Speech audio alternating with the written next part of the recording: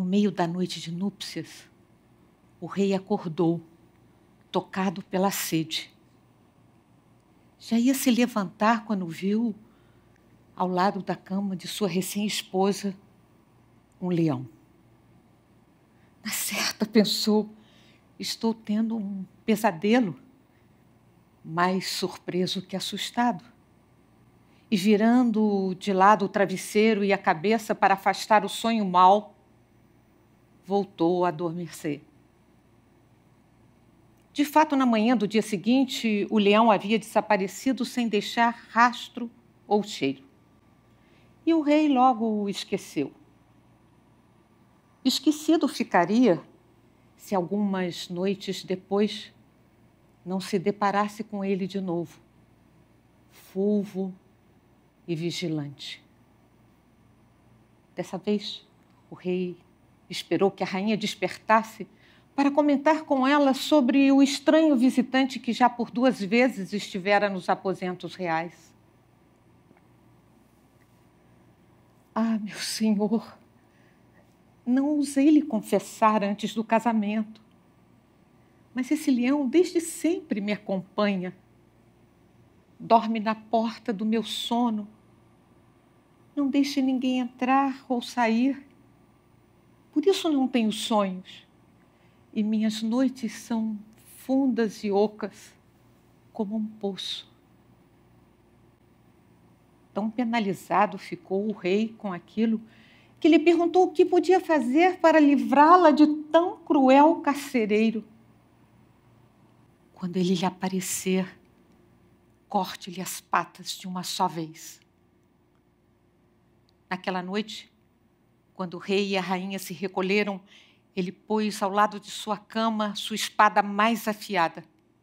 E ainda na penumbra percebeu o leão e, sás, decepou-lhe as patas de uma só vez. Durante algum tempo puderam dormir sem sobressaltos.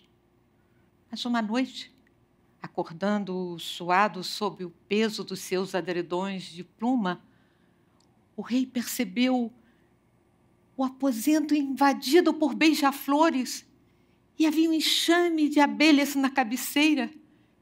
Cobrindo-se com lençol como se fosse uma mortalha, atravessou aí a madrugada, esperando o despertar da rainha.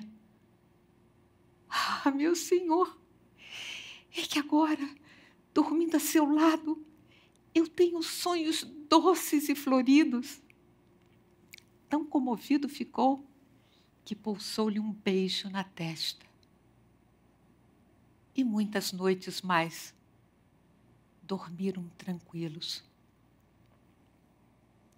Mas uma noite, tendo se excedido à mesa do banquete, o rei acordou indisposto, precisando de tomar ar no balcão. Foi aí que viu, caracoleando, batendo os cascos sobre um mármore. Um unicórnio com um único chifre de cristal.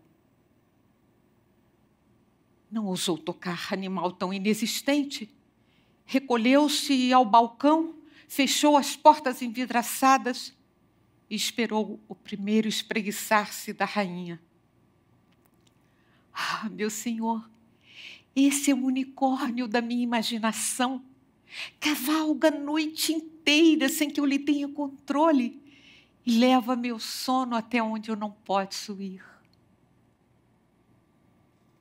Tão fascinado ficou o rei que na noite seguinte, mal a rainha adormeceu, ele despertou.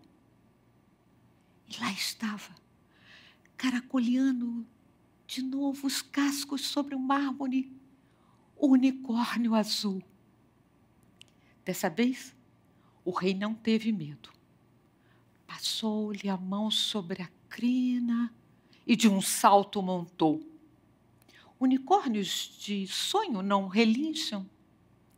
E aquele, colocando as patas no vento, cavalgou a noite inteira, até que se desfez a escuridão no horizonte e pousaram de novo, o casco no mármore e a cabeça no travesseiro.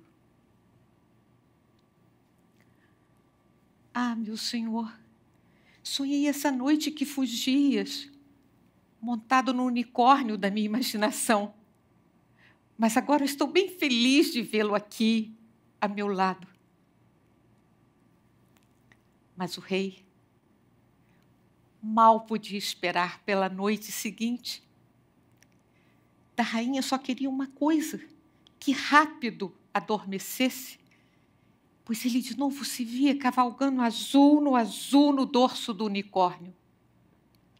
E assim partiu todas as noites, voltando cada vez mais diferente. Queria saber das questões reais, não queria saber do trono, de caçadas ou tesouros, nem dos bailes da corte. Sentado no trono, galopava e galopava no seu imaginário no dorso do unicórnio azul. E a rainha não podia suportar tamanha indiferença e desatenção. Decidiu um dia chamar sua mais fiel dama de companhia e, em segredo, deu-lhe as ordens. Quando a rainha adormecesse, ela deveria se colocar sob a cama e veria aparecer um leão com as patas decepadas que não tivesse medo, tomasse do fio de seda na agulha e costurasse cada pata em seu lugar. Tendo-se certificado de que ela havia bem entendido e que assim o faria, pretextando um grande cansaço, recolheu-se mais cedo aquela noite. E com ela o rei. Mas tamanha era a angústia que os dominava, que custavam adormecer, virando-se e revirando-se sobre a cama, enquanto sob ela esperava a dama de companhia. Mas de tanto esperar, o sono veio primeiro para ela.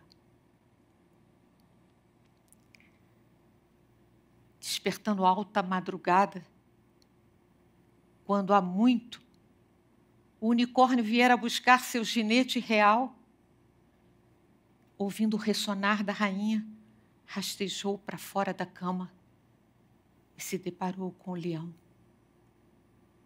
Costurou com o fio de seda, uma a uma, as patas em seu lugar.